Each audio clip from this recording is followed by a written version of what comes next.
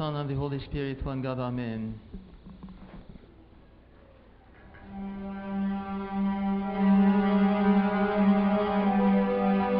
In the sixth month of Elizabeth's pregnancy, God sent the angel Gabriel to Nazareth, a village in Galilee, to a virgin named Mary. She was engaged to be married to a man named Joseph, a descendant of King David.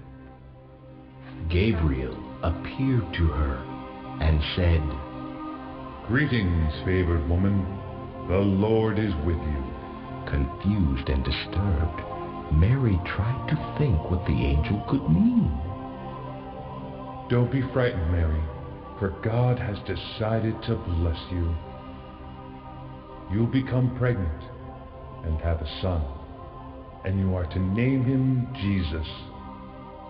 He will be very great and will be called the Son of the Most High, and the Lord God will give him the throne of his ancestor David. And he will reign over Israel forever. His kingdom will never end. But how can I have a baby? I am a virgin. The Holy Spirit will come upon you, and the power of the Most High will overshadow you. So the baby born to you will be holy and he will be called the Son of God. What's more, your relative Elizabeth has become pregnant in her old age. People used to say she was barren, but she's already in her sixth month, for nothing is impossible with God. Am the Lord's servant, and I am willing to accept whatever he wants. May everything you have said come true.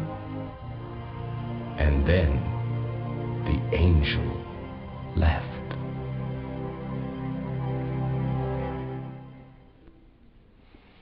In the name of the Father, and the Son, and the Holy Spirit, one God, Amen. Good morning, everybody.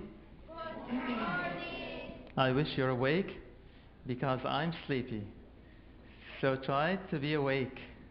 Okay? Today is the second Sunday of the blessed month of Kiak. Is it or is it not? It is not? It is. Very good. It is the second Sunday of the blessed month of Kiak. And as we said last week, during the month of Kiak, the church used to read all the gospel readings of the Sundays from the first chapter of the gospel according to our teacher St. Luke, exactly. According to our teacher St. Luke. Last Sunday, we heard about the annunciation of Archangel Gabriel to Zacharias the priest, the birth of whom? The birth of whom? St. John the Baptist. And today, as we heard the gospel reading and as we saw the video, the same Archangel Gabriel came six months later to proclaim the glad tidings. The annunciation of the birth of whom? Of our Lord Jesus Christ. To whom? To his mother St. Mary. Exactly. As you must have noticed, last Sunday or last week, Responded, I'm sorry, Zacharias the priest responded to the annunciation with a question. What did he say? He said, How shall I know that? That's what he did, what he said. And in return for this question, what happened to him? He was punished.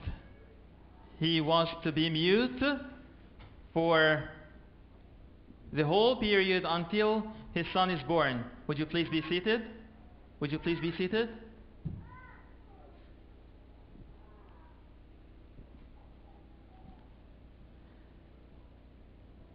And how did St. Mary respond to the annunciation of Archangel Gabriel? She responded also with a question. What did she say? How can this be? Yes. Zacharias the priest said, How shall I know that? St. Mary said, How can this be? But she was not punished, just like Saint Christ. Why? Why is that? Why is that? Yes. The question of the priest reflected what? A kind of disbelief or lack of faith. Exactly. He was lacking faith. He couldn't believe uh, the glad tidings that he received. But St. Mary, the question was reflecting submission. What's the meaning of submission? Yes, I'm willing to do this, but I need to do how this is going to happen. I need an explanation to know how the will of God will be fulfilled in my life.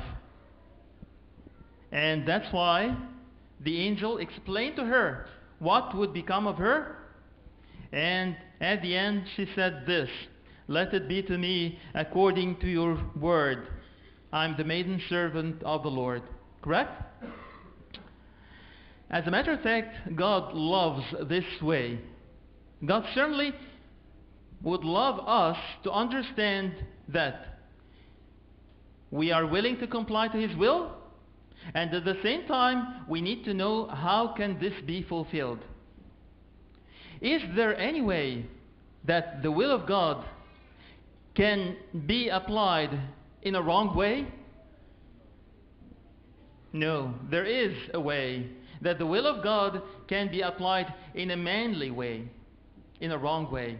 Let me give you a few examples. Abraham, do you remember? He is the father of all the fathers. He is the great grandfather of the nation of Israel. He foreknew from the beginning, God told him plainly that he is going to be a great nation. He was barren, he had no children, and his wife too, until a very old age. What was his wife's name? Sarah, exactly. God told him, You're going to be a great nation. And your children are going to be as many as the sand by the seashore.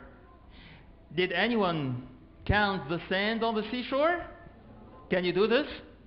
So it means that his children are going to be countless. He knew this from the beginning, but he never wondered, how can this be done? How can this be done?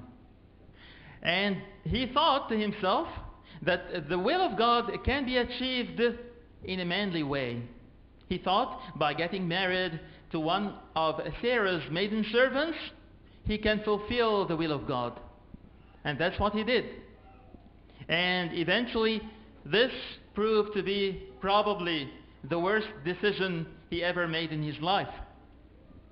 That was the will of God, but without wondering, how can this be? You can go wrong. Another example. Do you remember his son Isaac? What was his wife's name? Rebecca. What were what was his children's names? Jacob and Esau, exactly. Exactly. We've spoken about them before.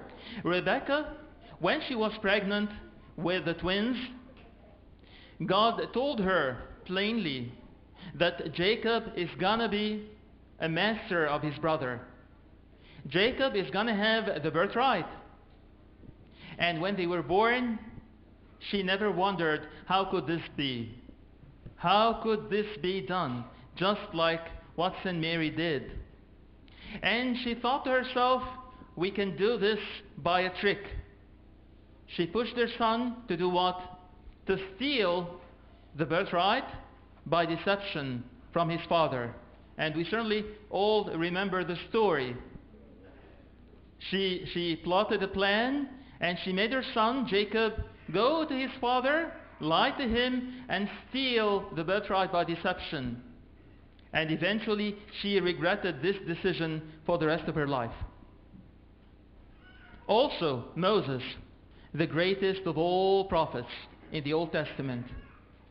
God told him plainly, Go, command the rock to yield water for the people to drink.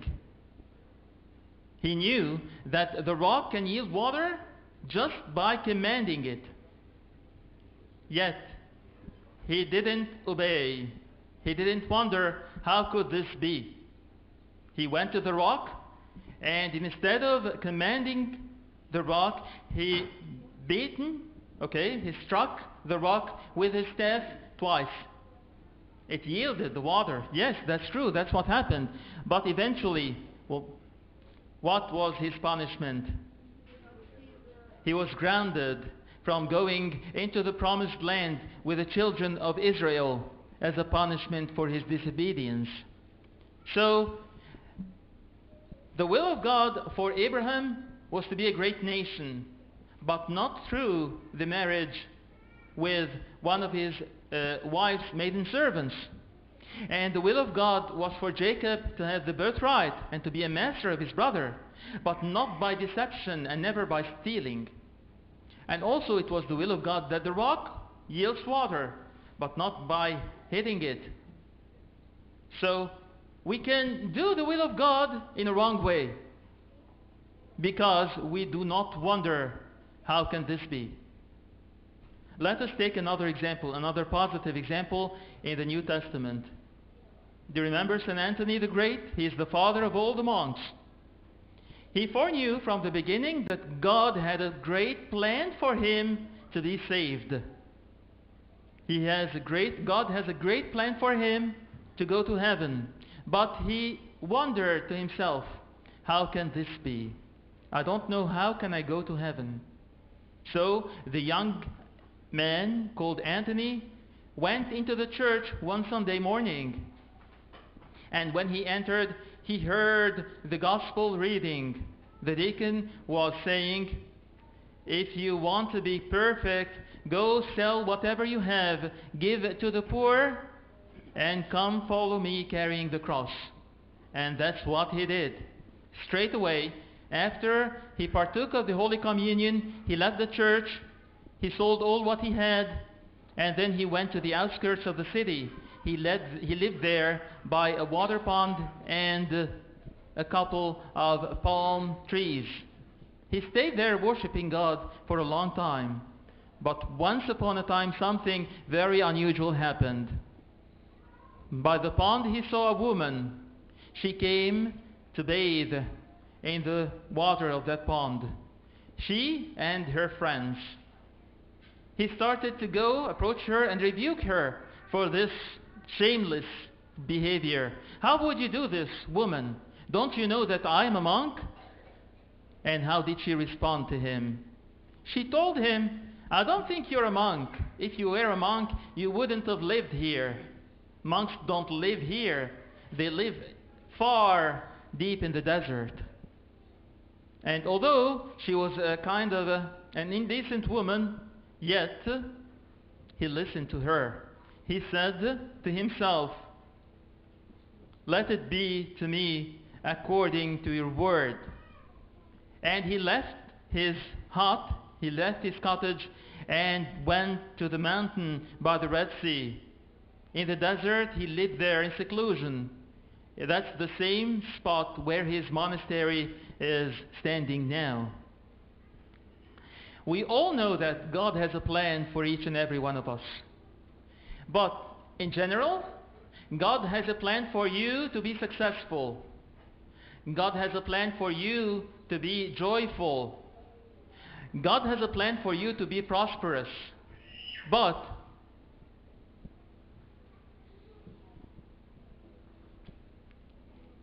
sometimes we might think, I can achieve success by cheating.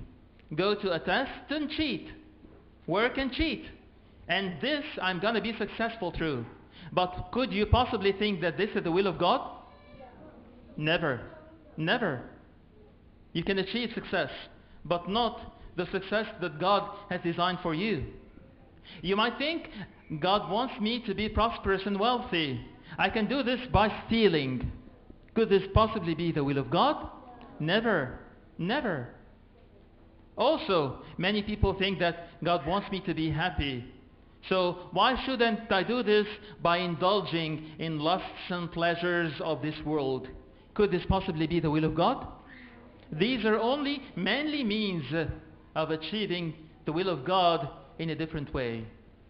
But we need to ask, always ask, how can this be done? You need to know the will of God.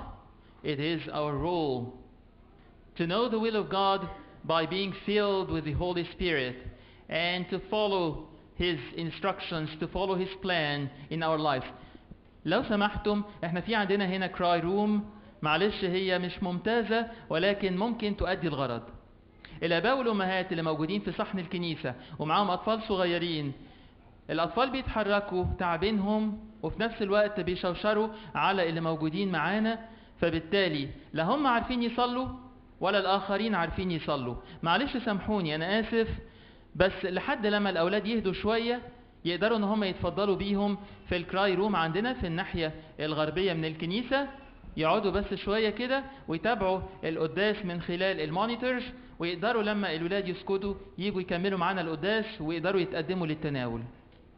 معلش أنا آسف سامحوني بقول لكم للمرة الثانية بس إحنا محتاجين هدوء في صحن الكنيسة. أنتوا عارفين الكنيسة مش كبيرة فمن فضلكم we need to follow the instructions of the ushers إحنا في عندنا هنا خدام مسؤوليتهم حفظ النظام فياريت يعني نسمع الخدام ونكون متعاونين معاهم لاجل خاطر الجميع مش عايزين حد يعثر لاي سبب من الاسباب again in order to know how can this be done we need to be filled with the holy spirit and we can do this through fervent prayers we need to pray all the time don't pray just once or twice and say that's it I have prayed and God did not reveal anything to me.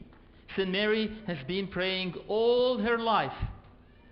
When she received this, she was about 15 or 16 years old.